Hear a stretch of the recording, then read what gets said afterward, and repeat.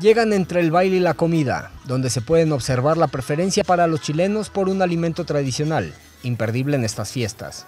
Y es que no solo de cueca y chicha se viven las fiestas patrias, sino también de muy buena comida y por supuesto buena carne. El anticucho es un tipo de brocheta de origen sudamericano que con diferentes variaciones en cada país consiste en carne y vegetales ensartados en un pincho para asarse. El periodo de mayor consumo del anticucho se produce durante la celebración de las fiestas patronales en fondas y en asados. El anticucho chileno forma parte de un grupo de tradiciones de la chilenidad, que tienen sus orígenes en la época de la colonia. Cristian Navarro, maestro parrillero, señala que la clave de un buen anticucho es jugar con la forma en la cual se prepara. No salar mucho la sal, o sea, la carne,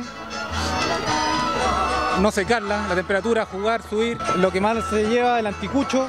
El anticucho chileno tradicional se hace con pedazos de carne de vaca y cebolla, ensartados intercaladamente en un fierro o varilla de madera de aproximadamente 40 centímetros de largo.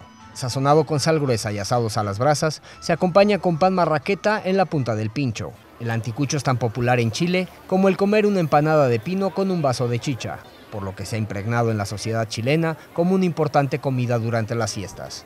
Con información de la oficina en Santiago, Chile, Noticias Xinhua.